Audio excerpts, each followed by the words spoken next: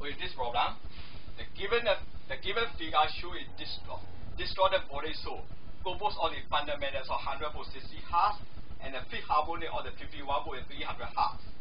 The source is connected to the resistor of the 24 ohm in series with an inductance of 18.6 millihenry at the 60 hertz. The way to calculate is uh, impedance at the 60 hertz and 300 hertz, the active and the reactive power absorbed by the resistor and the inductor, the total power dissipated. So this is for the 100 volt 60 hertz, 51 volt 300 hertz. They connected to the 24 volt and the 18.6 volt. So firstly, we assume that the superpositions are the principle we just uh, forget the 300 hertz, only that uh, city is supplying the load. In this case, uh, resistance is not changed, 24 ohm. It doesn't really depend on the frequency. So we can calculate H is a 2 by Fn. So 2 multiplied 3 by 141 multiplied frequency 60. Inductor is 80.6 to 10 power minus 3. So the ACC is a 7 ohm. So the total ZCC is equal to the C with the resistor and the inductive reactance. So the ZCC is equal to square root of R squared plus ACC squared. So square root of 24 square plus 7 square, so you got a 25 ohm. And then the currents are the current value when the only 100 volt is uh, supplying. So in this case, I60 is equal to E60 by Z60. So E60 is 100 and Z60 is 25, which you got a 4 ampere. And power the 60 high, the P60 is equal to I60 square into R. So 4 square into 24, 384 watt. So reactive power Q60 is equal to I60 square into A60. 4 square into 7, so 112 watt. So this is what is our only 60 high supplying. We can calculate the P60 and the Q60.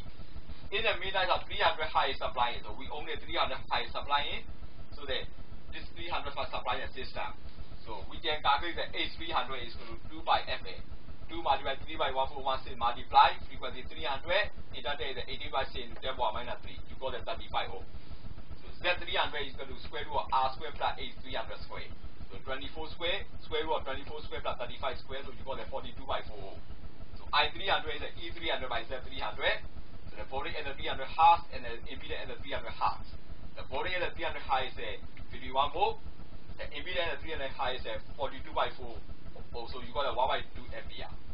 And also the power at the 300 hertz is equal to current at the 300 hertz square multiplied resistance. So the 1 by 2 square into 24, you got a 34 by 6 watt. And the reactive power at the 300 watts, half. So the Q300 is equal to I300 square into H300. So the 1 by 2 square into 35, you got the 525. Then we have to calculate the total current. The total current is the square root of, but there are two, so 60 hertz and 300 hertz. So I60 square plus I300 square. The square root of 4 square plus 1 by 2 square, got the 4 by 18 ampere. In the meantime, we also handy to calculate the power. Power at the 60 hertz and the 300 half. The P total is equal to square root of P60 square plus P300 square. The square root of 384 square plus 34 by 6 square. You got the 480.6 watt. So this is for us, uh, two sources are supplying. So in this case, uh, we can uh, utilize the uh, total power and the total current reactive power by the, test method. And another problem.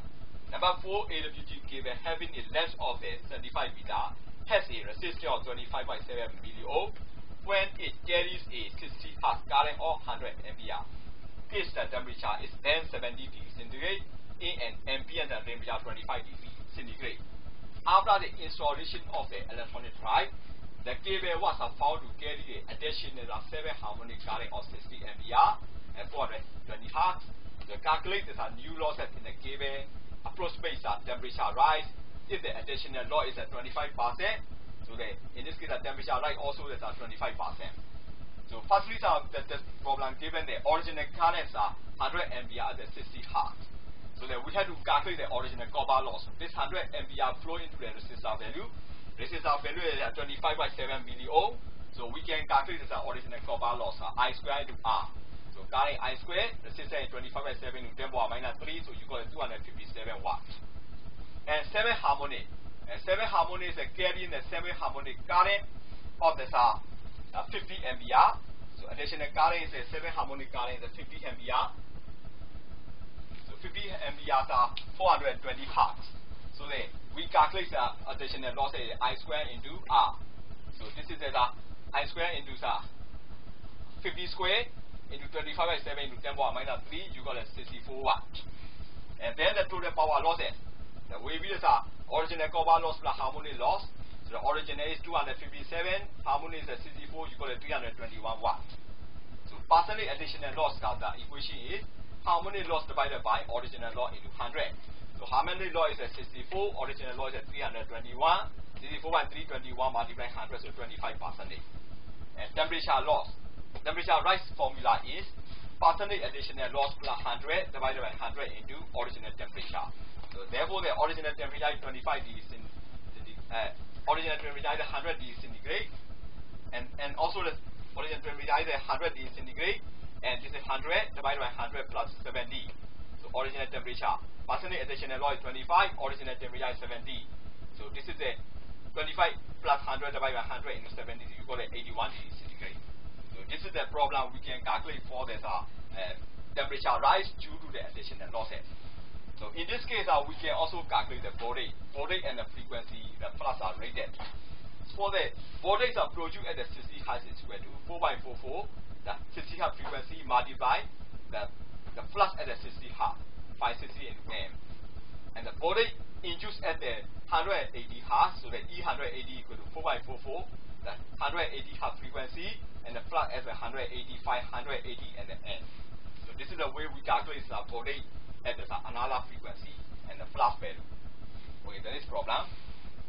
The primary winding of a transformer carrying a distorted current having a fundamental current 520 ampere, the harmonic is 270 ampere.